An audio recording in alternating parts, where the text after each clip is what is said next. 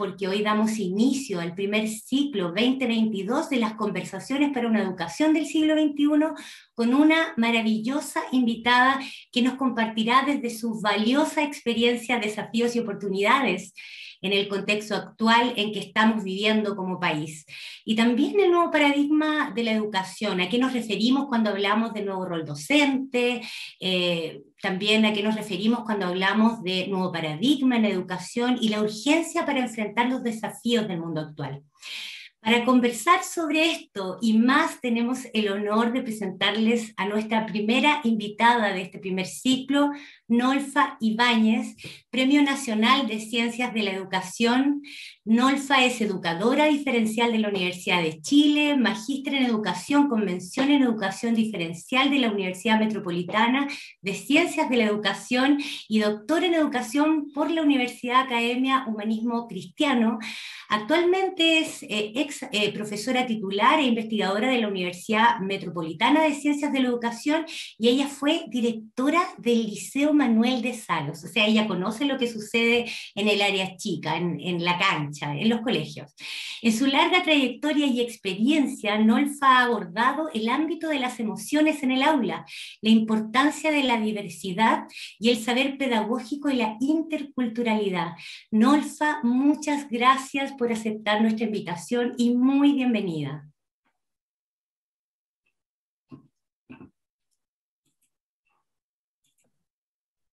Muchas gracias por la invitación a Carolina, y es un gusto poder hablar con mis colegas.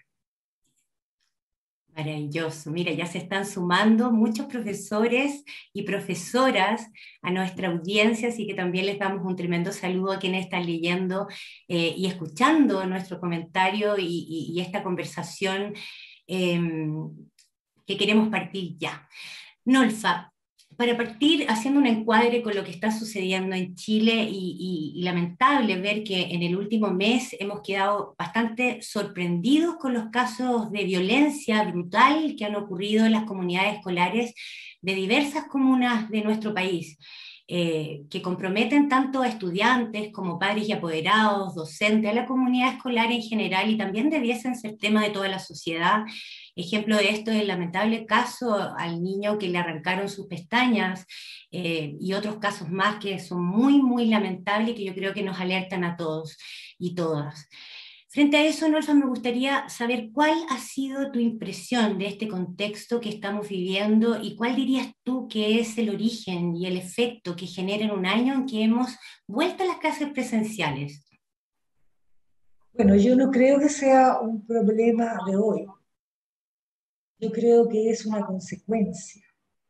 Una consecuencia, en primer lugar, una responsabilidad de la escuela, no de ahora. Por supuesto que todo se ve agudizado por la pandemia, pero tenemos una educación que tiene un discurso particular, aceptado, y una práctica incoherente con ese discurso. Entonces estamos desde hace décadas formando, y ustedes que son la mayoría muy jóvenes, ¿cierto? Se van a acordar de sus años como estudiantes en, la escuela y el liceo, y todo aquello que nos dice el discurso educativo y la política pública, en teoría, en el discurso, no es lo que se refleja mayormente en las aulas a lo largo de Chile.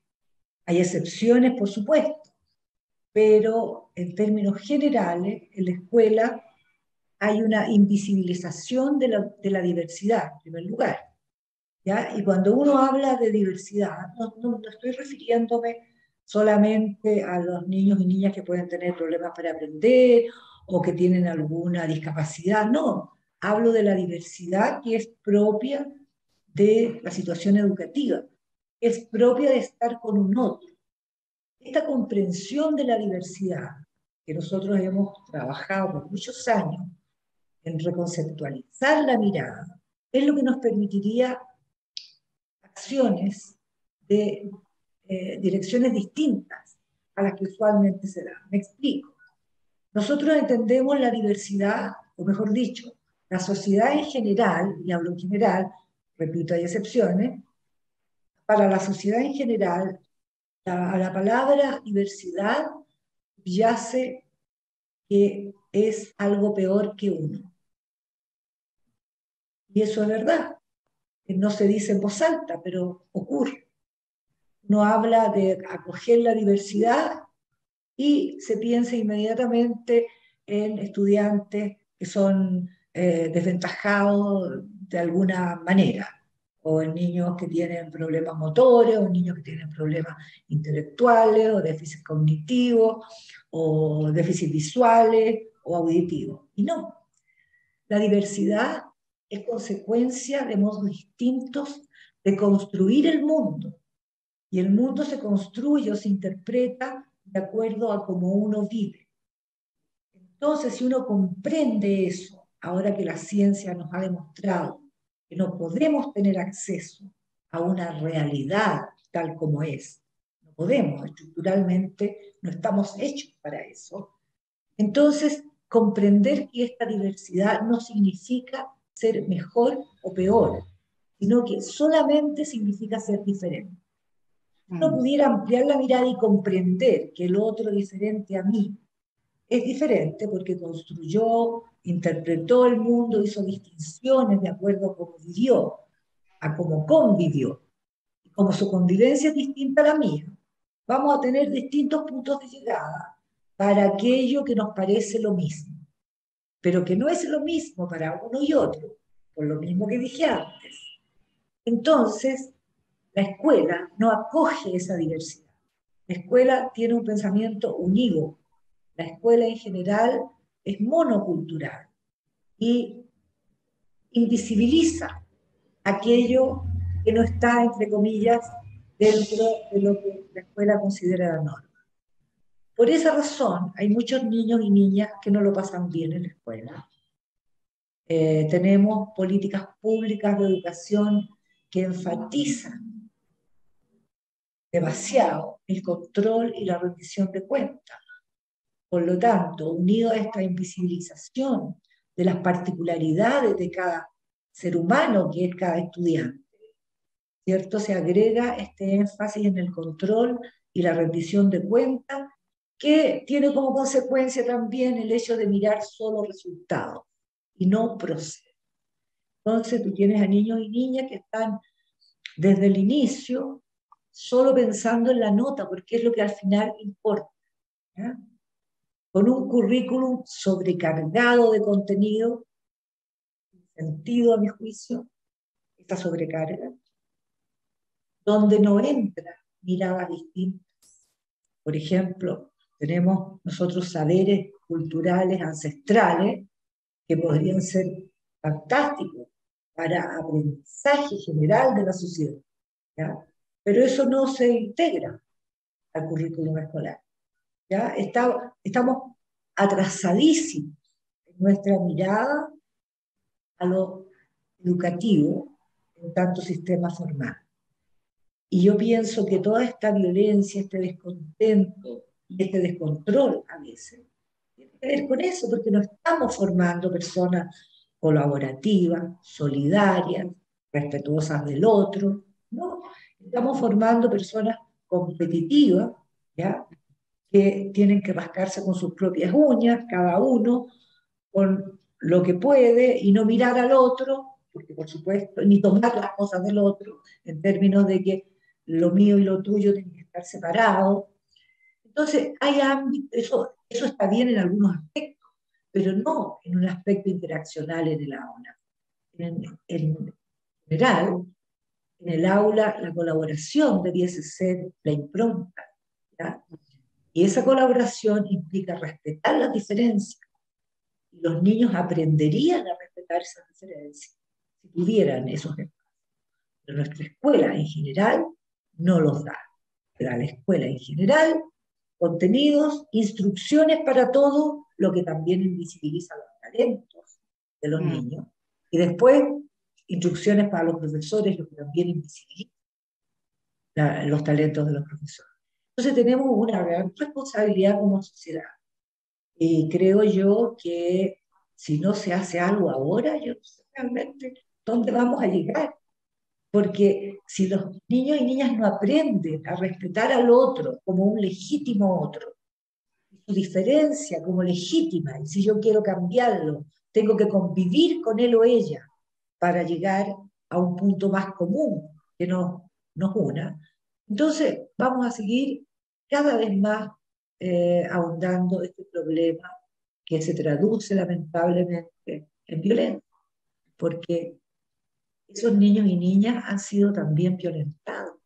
Mm. Las conductas se aprenden, se aprenden en el tiempo, en la convivencia. Nadie llega a la escuela sin haber nunca visto ninguna violencia, sin haber sido objeto de violencia y se le ocurre de repente ser violento, no. Son comportamientos que se aprenden de acuerdo a cómo se convive. Y tampoco tiene que ver con una responsabilidad exclusiva de la familia, para nada. Porque, por ejemplo, piensen ustedes la violencia que implica para un niño o niña, o un joven, que el profesor o profesora, que su escuela en general, no lo vea,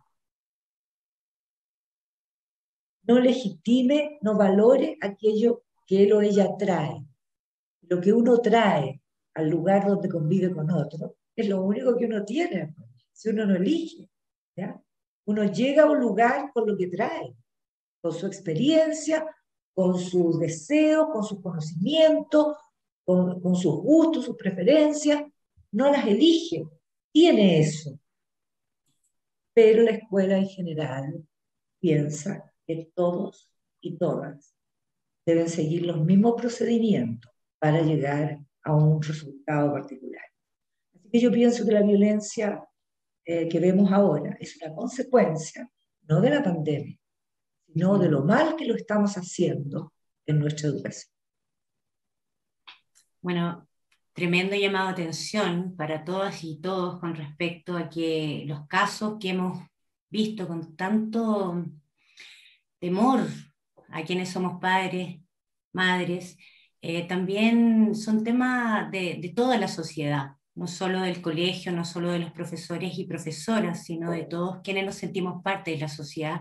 Y es una responsabilidad de todos, creo, Nolfa, el poder instalar eh, el respeto como valor fundamental a esta diversidad de formas de entender lo que hay que entender.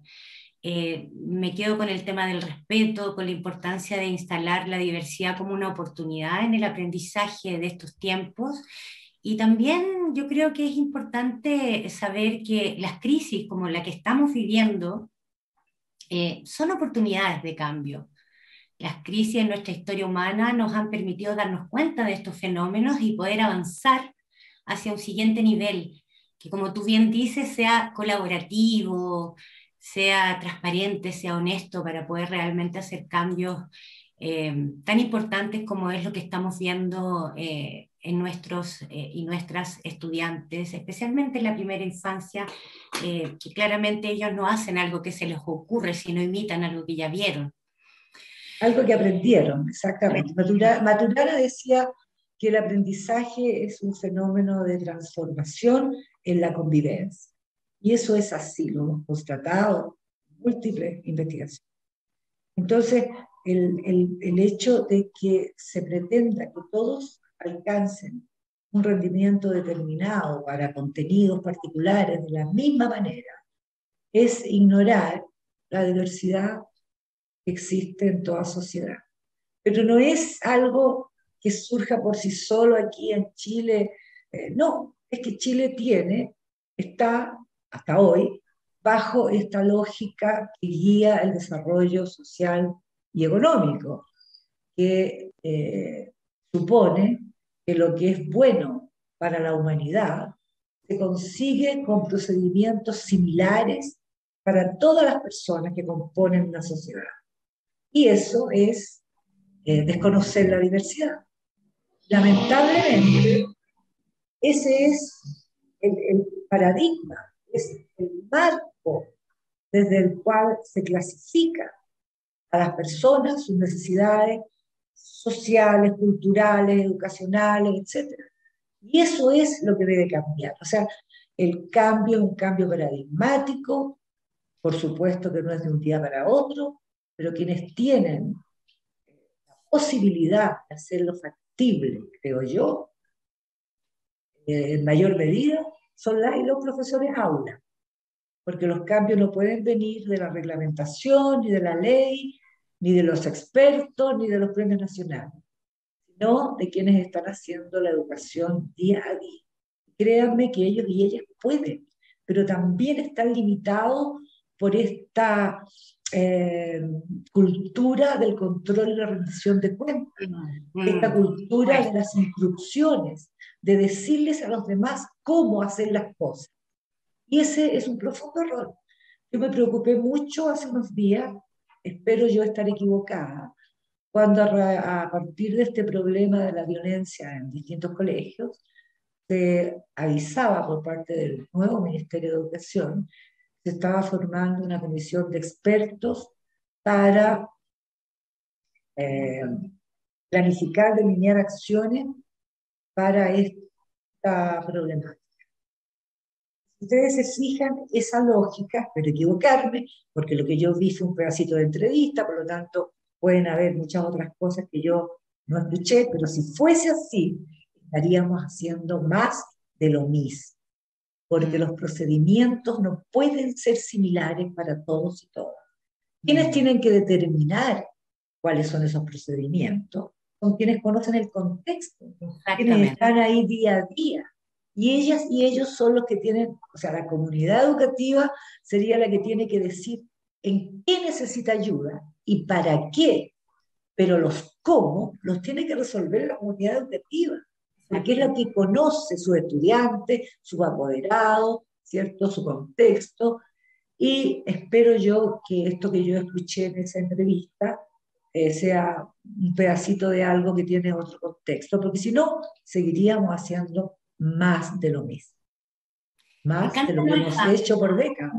Me encanta lo que, lo que estás poniendo porque estamos dando realce al rol docente y, aprovechando que están muchos eh, profesores y profesoras eh, siendo parte de la audiencia en esta conversación de hoy y entendiendo que tú eh, has tenido una larga trayectoria profesional en el ámbito docente y que también has tenido la oportunidad de vincular con estudiantes, con familias, eh, me gustaría escucharte a ti desde toda tu trayectoria y desde este conocimiento en territorio, yo digo donde las papas queman, ¿cómo ves tú este nuevo rol docente y a qué debiese responder como agente de cambio dentro de la comunidad escolar? El nuevo rol docente es un una terminología que se escucha desde los 90, desde la reforma del 93. Eh, yo fui, me acuerdo, parte del equipo consultor del ministro de la época para el programa Mese Media, para el piloto. Perdón, para el piloto.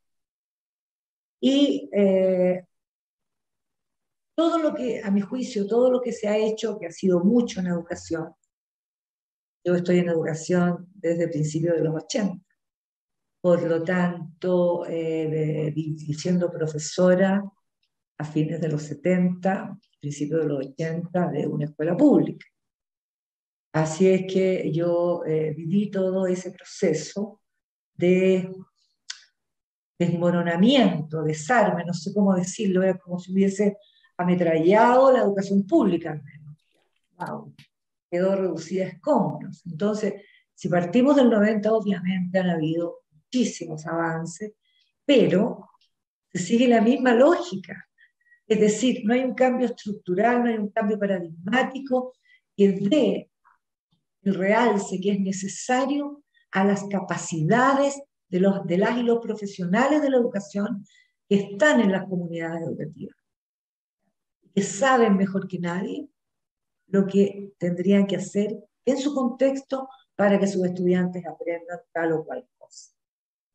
Eso esperamos nosotros que ahora pudiese cambiar, pero cada vez que pasa más tiempo es más difícil, porque la y los colegas se acostumbran a recibir instrucciones sobre cómo hacer las cosas, a mm. trabajar con las guías que les llegan, a, eh, digamos, seguir las sugerencias que les llegan, pero muchas de esas sugerencias, guías, etcétera, hechas con mucho cariño y por personas muy bien intencionada y que seguramente sabe mucho, quizás no sea lo que necesita esa comunidad educativa, porque ningún experto desde el nivel central va a poder saber lo que necesita una comunidad educativa en el norte en Colchane o una comunidad educativa del sur de, no sé, Rupameica, en los ríos. Cada unidad comunidad educativa sabe mejor que nadie lo que necesita, lo que le falta, lo que requiere de apoyo externo. Y eso hasta ahora no se ha hecho, se sigue centralizando como si todos y todas pudiésemos aprender las cosas o hacer las cosas con un procedimiento X que a lo mejor resultó no sé dónde, pero que no tenemos idea si va a resultar o no acá, porque no está contextualizado. Me, me, gusta esto de, nosotros lo llamamos la pertinencia, eh, donde hay que considerar estas necesidades pertinentes y no centralizar la decisión.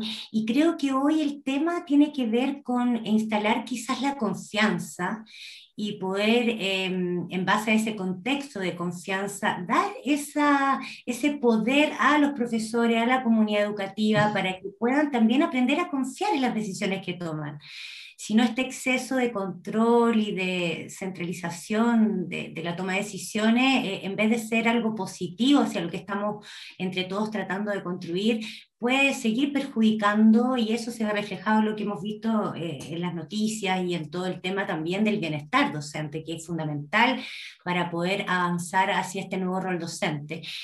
Em, antes de seguir, Norfa, quiero, hay muchas personas que están escuchando la audiencia y me gustaría invitarlos a hacerte preguntas, a dejar comentarios. Muchas gracias por estar hoy con nosotros en este primer conversatorio de de, las conversaciones de educación para el siglo XXI. Estamos con Nolfa Ibáñez, Premio Nacional de Ciencias de la Educación. Muy felices de tenerte con nosotros, Nolfa, y también muy contentos de que nos acompañen profesoras y profesoras de todo Chile, de Uruguay, Argentina. Eh, ojalá que podamos inspirarlos a todos y co-construir este nuevo paradigma educativo que tanto lo necesitamos. Si no soy, ¿cuándo? Así que vamos con todo, como, como dice nuestra fundadora.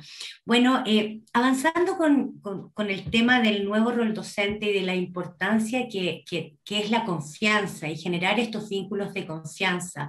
Nosotros como institución estamos promoviendo mucho el bienestar docente en, esta, eh, en este nuevo paradigma de educación integral y creemos que el bienestar tiene que ver con muchos factores que permitan ese bienestar. ¿Qué crees tú desde tu experiencia que es fundamental para poder instalar este, este bienestar en los docentes? Yo creo que lo principal es proporcionar espacios para visibilizar los talentos de las y los colegas.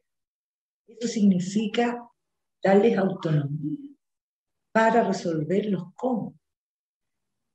No encasillarlos en una manera particular de hacer las cosas con determinadas eh, exigencias administrativas que muchas veces no aportan nada. El asunto es, yo mira, he estado desde hace ya más de un año llamando a lo que yo llamaba una, para la redundancia, a rebelión docente. Necesitamos una rebelión docente. ¿En qué sentido? En el sentido de rebelarse a las instituciones sobre cómo hacer nuestro trabajo profesional. Eso implica un trabajo colaborativo de la comunidad educativa, autoridades de la comunidad, profesores, representantes de los apoderados y también de los estudiantes de los últimos años, a lo mejor, para inventar, construir un modo para los cómo. ¿Cómo logramos los aprendizajes que están especificados en el currículum. ¿Qué podemos integrar? ¿Cómo podemos modificar esto de estar viendo en muchos casos materias similares, contenidos similares, o que se acercan mucho, que se intersectan mucho en distintas asignaturas? ¿Cómo podemos realzar el valor de eh, áreas como la artística o la educación física, ¿cierto? La música, en fin, cómo hacer cruce con ciencias, por ejemplo. Eso es perfectamente posible, no hay ningún reglamento, ley, nada que lo impida. En Finlandia, por ejemplo, las comunidades educativas deciden los cómo, deciden cómo van a tratar de lograr los objetivos de aprendizaje del currículo. Acá no, como se produce un acostumbramiento, se instala una cultura de seguir instrucciones, varias veces he escuchado quejas de profesores que dicen, pero es que los lineamientos del Mineduc para esto no son claros. Mm. Yo les digo, pero si no necesita, colega, alineamientos del Mineduc. Usted es profesional, conoce a sus estudiantes, conoce los contenidos, construya usted. Ah, pero es que tengo que hacer esta parte. Pero no la haga. De sus razones, hable con los directivos. Pónganse de acuerdo interdisciplinarmente. Porque para hacer esta revolución docente es absolutamente necesario trabajar interdisciplinarmente. Ponerse de acuerdo el profesor de educación física, con el profesor de, de ciencia, con el profesor de lenguaje, de matemáticas, etc. Tenemos algunos ejemplos en Chile, poquito, pero tenemos. Y hemos visto resultados muy, muy extraordinarios, no en 10 años, en 3, pandemia incluida. Wow. Entonces, necesitamos eh, empoderar a nuestros colegas, porque las capacidades están, las competencias están, algunas un poco adormecidas, pero están. Y los únicos y las únicas que pueden cambiar la educación en Chile, juicio, son ellas y ellos, quienes hacen la educación en las aulas. Eh, eso yo, creo, yo pienso que lo sabe cualquier ¿ya? Pero hay que atreverse, hay que atreverse, hay que conversar con los demás de la comunidad educativa, hay que mirar cómo pueden hacerlo. Tienen que convencerse de que no hay sanciones para hacer esto, porque no hay reglamento que lo impida. Eso es lo que llamamos una rebelión docente, que si es impulsada o promovida desde el Ministerio de Educación, sería maravilloso. No tendría por qué ser obligatorio, podría ser solo voluntario cada comunidad educativa pidiera la ayuda que necesita para hacer su transformación curricular. Ahí sí tendríamos un nuevo rol docente, un rol docente más parecido ya en su estructura al que había acá hace 50 o 60 años atrás, donde evidentemente las condiciones eran distintas, yo estoy diciendo que tengamos que volver a 70 años atrás, pero me estoy diciendo que tiene que retomar eh, su importancia para la sociedad, este rol docente, porque es fundamental. La educación no es solo un servicio, es mucho más que un servicio. La educación configura las características de una sociedad. Entonces, porque tiene una gran incidencia en el desarrollo humano y ciudadano. Entonces, cuando hablamos de educación, eh, no pensemos que es un servicio, es muchísimo. Qué, qué, buena aclaración, porque hoy en día se, se, se, habla de usuario, se habla de servicio en educación, eh, hay un control de calidad también de la misma. Bueno, vamos a seguir conversando. Quiero mencionar, Nolfa, alguna de las personas que están ya comentando, que, que, me encanta, que estén jóvenes universitarios. Dice una madre, Ana Day, Tete Ana Day, dice, los estudiantes estuvieron dos años, 24/7 en sus casas con sus familias. Los resultados son catastróficos. Los padres no saben criar, les dan un celular a niños y piensan que con eso la tarea está resuelta. Ese es el comentario de Ana Day. Después tenemos una serie de personas, aplausos, corazones, Gabriela Suspira, Eduardo, Cata Cata, el maestro, Emi Rowe. Como universitaria me sirve mucho este conversatorio. Muchas gracias, Manuel Tello. Ponle color, Corporación Pequeñas Almas lo, almas lo hace. Eh, amor, amoro. Muchas personas están mandándote saludos, Nolfa, y, y gratitud, corazoncitos, aplausos. También saludar ahí a la comunidad Profesor Red, que está justamente esta semana viendo el módulo del nuevo rol docente y nuevo paradigma, y seguramente esto los va a inspirar a co-construir ese nuevo paradigma y ese nuevo rol docente. Acá tenemos a ese Nerváez, que está ¿Cómo se debería abordar el tema de la violencia en la escuela? Bueno, ya lo abordamos en Nolfa compartió, quizás dando más confianza a los profesores y profesoras, quizás bajando un poco el nivel de, de control para permitir que eso surja en forma espontánea y quizás el bienestar viene per se, es cosa de poder soltar también tanto control. Después dice, estoy muy de acuerdo, queremos solucionar el problema, pero no podemos por nuestros directivos que están cerrados dentro del sistema. Bueno, hay un tema de sistema y de control que también amarra un poco las manos de quienes quieren hacer cambios.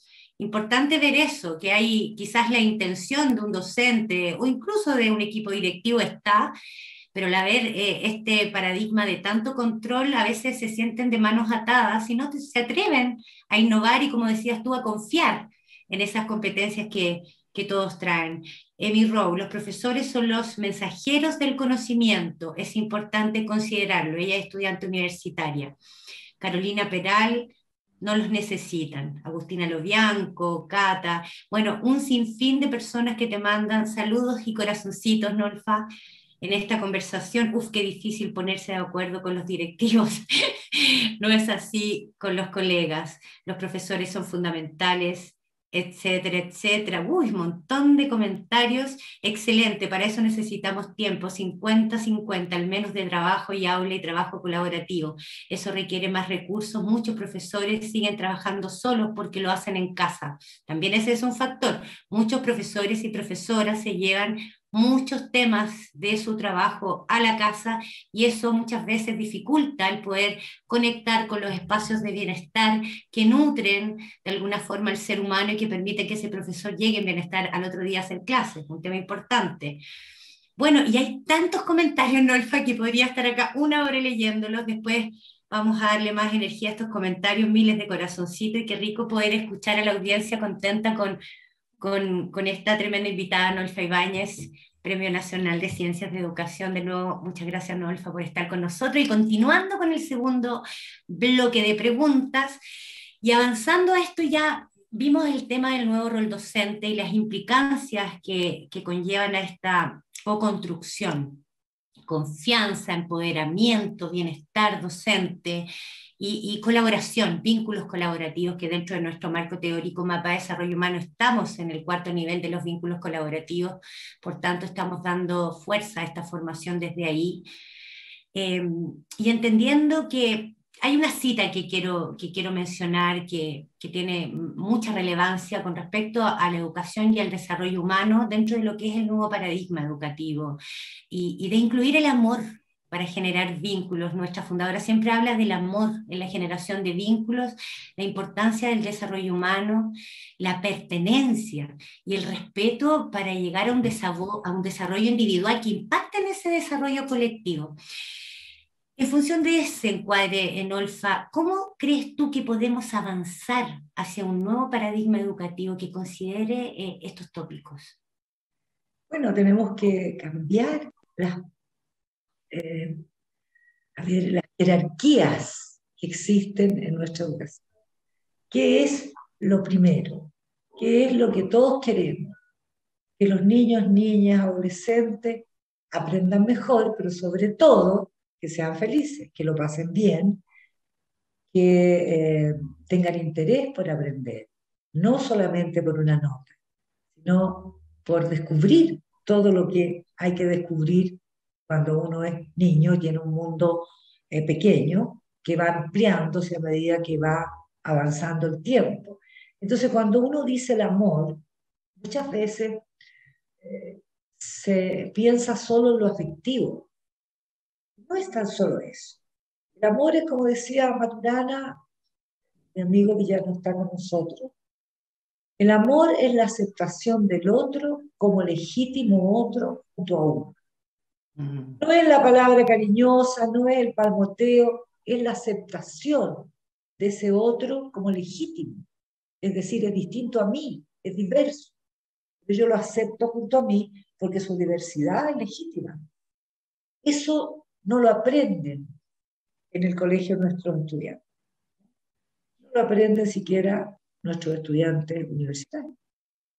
Estamos focalizados en cuestiones que parecen ser muy importantes, como los contenidos, las notas, el puntaje CINCE, y estamos dejando de lado lo que es verdaderamente importante. Pienso yo que mucho de eso tiene que ver porque las personas no miran, eh, no amplían su mirada sobre otras cuestiones cuando no entienden esto de la diversidad. La comprensión de la diversidad es fundamental para acercar. Por ejemplo, una de nuestras oyentes o espectadoras, no sé, hoy día, decía que ella achacaba mucho de esta violencia a eh, los papás que estaban, digamos, no se habían preocupado por los niños, qué sé yo, durante el tiempo de pandemia. Ese es obviamente un comentario hecho con la mejor intención, yo estoy seguro que esta persona está convencida de que es así, porque ella no ha reflexionado sobre esta eh, comprensión de lo diverso. Los significados y sentidos que tienen las cosas, los objetos, las relaciones para mí, no tienen por qué ser las mismas para el otro que está al lado mío. Los significados y sentidos para cuestiones para las cuales usamos las mismas palabras son distintos para uno y para otro. Eso lo hemos constatado en largos años de investigación con niños desde el nacimiento hasta tercer año más. Hemos mirado cómo van haciendo distinciones y construyendo su mundo con determinados sentidos, determinados significados. Y después, cuando están más grandes y hablan, emplean las mismas palabras, pero se están refiriendo a cuestiones distintas, porque aprendieron, construyeron significados distintos para eso que después nominan con la misma palabra. Yo sé que eso es un poco complejo, pero es fundamental. El gesto que para mí tiene un determinado significado no tiene por qué tener el mismo significado para el otro. Supongamos, un adolescente entra a la sala y hace un gesto que yo considero inapropiado y lo recrimino. Bueno, primero tendría que saber si ese gesto significa lo mismo para él. No tenemos tiempo, no es el momento, pero eh, yo les podría mostrar muchas evidencias de esos, de incluso gestos que para una cultura significan A y para otra significan Z. Mm. Entonces, si nosotros no comprendemos que todo otro es diverso, que su entendimiento puede ser distinto para aquello que nombramos con la misma palabra. Entonces, preferimos enojarnos, decir, no, no, me cae mal esta persona, esta persona piensa de esta manera, no me gusta, ¿ya? A decir, mira, él piensa que esto es de esta manera y yo pienso lo otro. A ver, conversemos. ¿Cómo llegamos a tener estas dos miradas distintas? Nosotros hiciésemos eso en la escuela, desde el paro, desde la educación parvularia.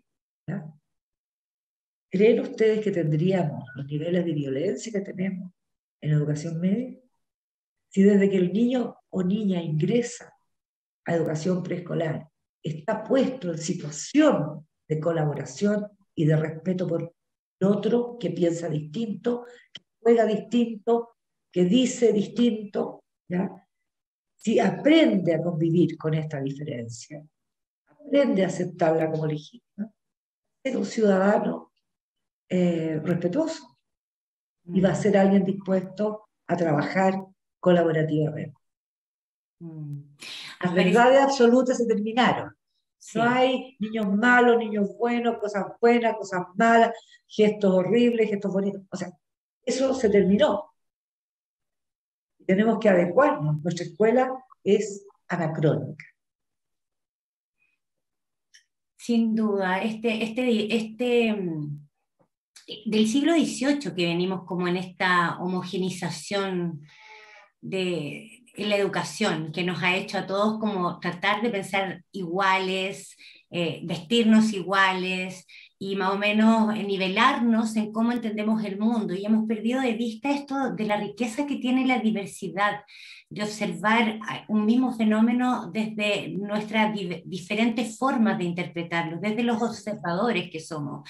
No es lo mismo un niño que está, en, no sé, en el Amazonas, en una tribu alejada de la civilización, que un niño o niña que está en la ciudad, en una metrópoli se observa y se interpreta distinto y ahí el rol docente requiere la sabiduría y la astucia de poder articular esas diferencias como un insumo, como esa pimienta que le agregamos a la sopa para que quede mucho más rica.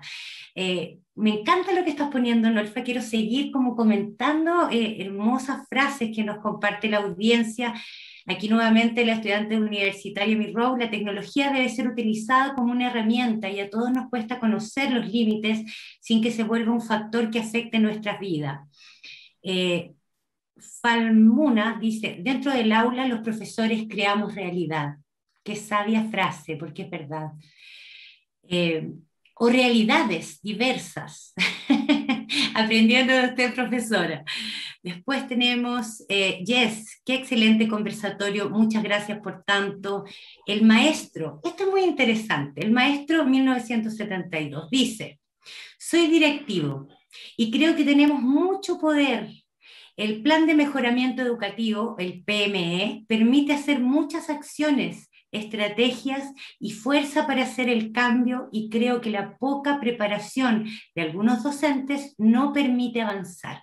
Y con esa, con esa declaración de este directivo, quiero dar un encuadre hacia la nueva pregunta, Nolfa, que tiene que ver justamente con las competencias, con esos conocimientos, habilidades, actitudes y valores que los docentes que están mirando las necesidades, las diversidades y las diferentes necesidades de sus estudiantes con nuevas miradas, eh, con formatos globales, eh, que nos hacen de alguna manera a quienes trabajan en la educación también requerir una actualización.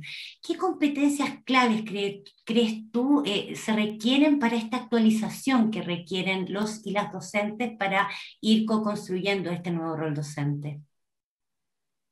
Mira, la principal competencia para contextualizar es lo que dijo el directivo y lo que dijeron profesores de los directivos antes la principal competencia es la comprensión de la diversidad como construcción de mundo.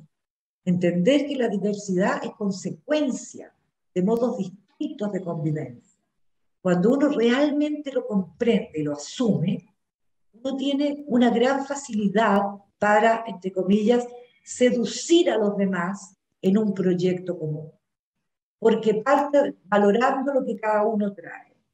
Entonces, las y los profesores que piensan que los directivos no nos dejan avanzar, colegas, júntense cuatro, cinco, diez profesores, convérselo y vayan con los directivos y expongan eso entendiendo que los directivos, el director o la directora, está haciendo lo que cree que es mejor y hay que mostrarle otros caminos y seducirla para eh, porque nadie, uno no convence a nadie, uno lo seduce, las personas nos movemos por las emociones, en este caso por las preferencias.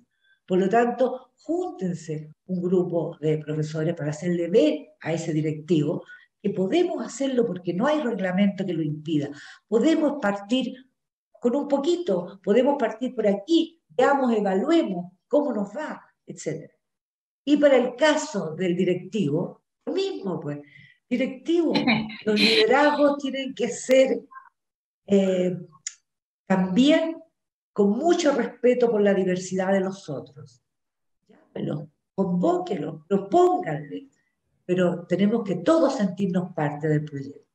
No puede ser proyecto de uno, tiene que ser proyecto de todos. Partamos cambiando la educación en, un, en una comunidad educativa y podremos ver eh, resultados no en 20 años, sino en uno o dos años. Así que no es una cosa de tan largo plazo. Esta revolución docente que yo estoy rondando hace ya bastante tiempo es porque efectivamente se puede hacer. Necesitamos la voluntad, el compromiso de profesoras y profesores y directivos de las comunidades educativas, porque eso tiene que ser lo que prefieren, tiene que ser eh, a partir de los deseos, no puede ser impuesto. Y eso permitiría mostrar eh, las competencias, los talentos que tienen las y los profesores, pero que muchas veces están bajo esta capa de instrucciones sobre cómo hacer, bajo esta eh, cuestión administrativa, están muy sobrecargados, bajo esta presión de que los estudiantes tienen que tener buen puntaje CIMSE, y entonces no hay tiempo para apasionarse en un proyecto que puede hacer que nuestros profesores vuelvan a ser socialmente valorados como lo merecen. Qué, qué, inspirador lo que compartes, Nolfa, porque es muy importante mirar el tema del nuevo rol docente eh, en una visión eh, más bien sistémica, eh, donde podamos involucrar a los equipos multidisciplinarios, los directivos también como el que nos está comentando desde su lugar, a los profesores, a las profesoras, también a los padres y apoderados, o sea, en pocas palabras, este llamado a la revolución educativa es un llamado para todos, que despertaron de alguna forma los estudiantes y que hoy nos ha llegado a los adultos que trabajamos en educación y que tenemos que hacernos cargo de manera urgente. Quiero seguir leyendo ya los últimos comentarios que sigue la gente muy efervescente, mandando muchos corazoncitos, lo cual nos pone muy feliz. Eh, eso es mirar desde ambas partes, comentan. Eh, Gracias por mencionar el amor y la educación. Fundamental el amor desde como tú lo, lo defines y muchos lo definen. Y la naturaleza, ¿qué rol juega en la educación, Nolfa? Bueno, eso está dentro de, los, de lo que no se respeta, de lo que no es coherente con el discurso educativo. Nosotros queremos tener niños solidarios, autónomos, capaces de resolver problemas, eh, que respetuosos del otro y del medio ambiente. Tenemos que hacer cosas distintas a las que hacemos. La escuela tiene que ser otro espacio, no el espacio rígido que sigue siendo igual o casi igual que hace décadas. Entonces tenemos, claro, no basta con hacer una plantita o con decir que hay que cuidar el agua, o, o sea, no basta con eso hay que tener acciones más amplias que permitan a los estudiantes comprender la seriedad del problema. Y eso tiene que hacerse también con el ejemplo. Tal como el respeto. Uno no respeta al otro por eh, indicación de un superior. El respeto solo se puede aprender cuando uno es objeto de respeto si un niño o niña no es objeto de respeto, no va a aprender a respetar. Entonces tenemos que ser conscientes los profesores de que como nosotros nos comportamos es como van a aprender nuestros estudiantes comportarse en esa situación particular. Puede que algunos se demoren más, puede que otros se demoren menos, pero el aprendizaje es un fenómeno de transformación en la convivencia siempre ocurre. No hay un momento en que uno no aprenda algo. Incluso el niño o niña está desatendiendo absolutamente eh, lo que dice el profesor o profesora, está aprendiendo otras cosas, aprendiendo otras cosas mirando por la ventana, está aprendiendo otras cosas. Uno aprende, el ser humano aprende siempre, durante toda su vida. Por lo tanto, el aprendizaje no se limita a una clase que parte con la campana y termina con la campana. El aprendizaje y el respeto por el otro se aprende en la convivencia. ¿Cómo tratas al estudiante en el recreo, en el comedor? ¿Cómo se configura la comunidad? ¿Cómo se valora a los apoderados?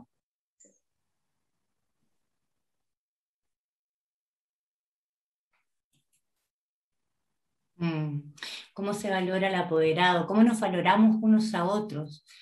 Yo creo que hay, varios em, conceptos que has instalado hoy en esta conversación muy inspiradora, Nolfa, que ojalá llegue a todos los corazones de esos profesores y profesoras que se han desafiado a ser parte de este nuevo paradigma de la educación del siglo XXI Eh, quiero destacar un último comentario que estamos recibiendo. Eh, dice Jazz Nitala, soy profe de mate de los pequeños. El apoyo de uso de material concreto del juego, importante el juego, hace que se generen cambios y hay que atreverse. Y cuando todos ven esa alegría de niños, dan ganas de seguir trabajando. Eh, la última pregunta y la última reflexión, porque ya tenemos que ir cerrando, me gustaría como algún mensaje para que los profesores y profesoras se puedan reconectar con, con, este nuevo paradigma, con la inspiración, con la vocación, porque muchos eh, han caído en pandemia y con toda esta sobrecarga y todo lo que hemos mencionado, han caído en burnout, se han desmotivado y queremos como tirarlos para arriba, empoderarlos y poder avanzar y que se atrevan a desafiarse y que no están solos. Y es muy importante lo que tú puedas decir, Nolfa, en este cierre eh, de este primer conversatorio de la educación del siglo XXI. Yo insisto en llamar a mis colegas a una rebelión docente en relación a los cómo. ¿Cómo hacemos A, B o C? Ustedes pueden, tienen las competencias. Y yo estoy segura que nadie que escoge esta profesión es por casualidad. O sea, uno sabe que incide en el desarrollo de otras personas. Como la única profesión que tiene esa incidencia por la convivencia prolongada que tenemos con nuestros estudiantes, que siempre tiene consecuencias. En el caso de los niños pequeños, no solo consecuencias eh, sociales o emocionales, sino incluso del sistema nervioso. No da lo mismo para el sistema nervioso de un niño pequeño pasarlo bien que pasarlo mal. Entonces, considerar las emociones, entender que la diversidad es una condición de estar con el otro. Esa diversidad es legítima. Y si yo quiero que cambie, tengo que convivir de una manera particular en esa dirección. No desvalorizar lo que el otro trae porque no es de mi agrado, sino partir de ahí para poder transformar. Las y los profesores pueden hacerlo. En este momento no hay en Chile, al menos que yo sepa, que yo conozca, ningún investigador o investigadora en educación que no esté diciendo que esto no da para más. Hace 20 años atrás yo todavía discutía con algunos colegas respecto, yo tenía la misma opinión que tengo ahora, ahora está más eh, enfatizada porque la cosa ha ido empeorando, pero ahora mirando las últimas publicaciones de la investigación en educación en Chile, todos dicen lo mismo.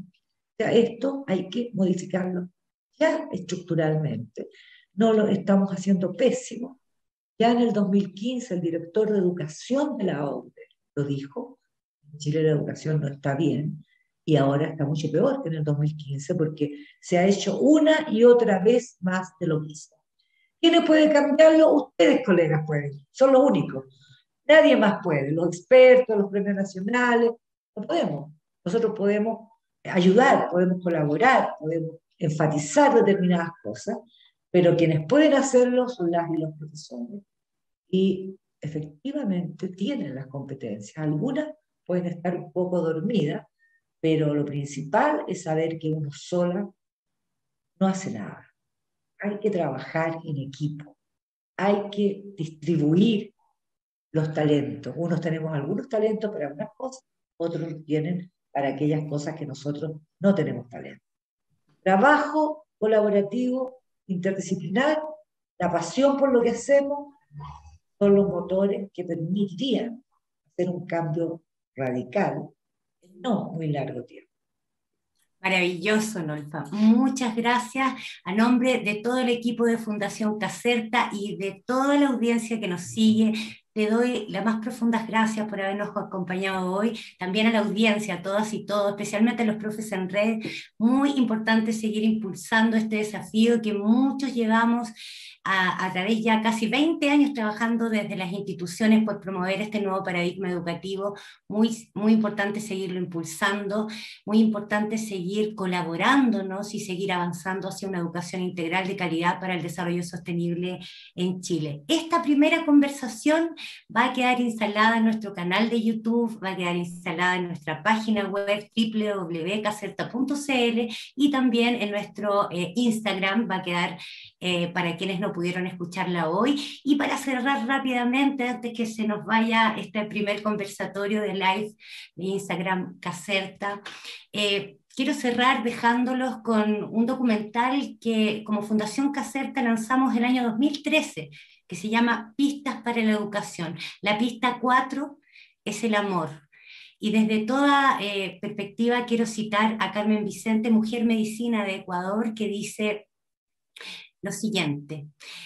Desde toda perspectiva, desde el niño cuando observa y toma la leche de su madre, ese es un universo. Ese alimento es su educación. Allí está la ternura.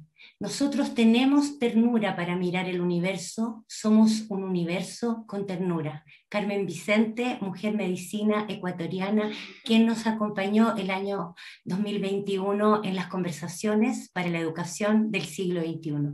Los esperamos próximamente con otra excelente invitada. Muchas gracias, Nolfa. Muy buenas noches. Gracias a ustedes. Muy buenas noches. Un gusto. Igualmente.